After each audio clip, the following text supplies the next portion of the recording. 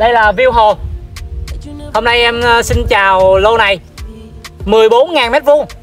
Mình còn gọi là một hecta Đó, Giá cực kỳ mềm. Ừ. Quý anh chị cùng xem video của em nhé.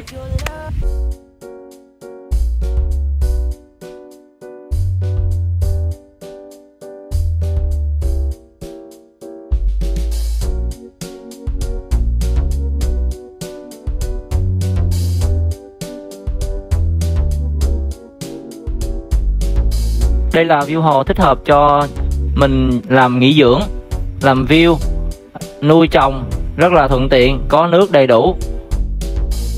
Đất bằng đẹp, anh chị nào quan tâm nhắn tin em gửi sổ đầy đủ cho ạ. À.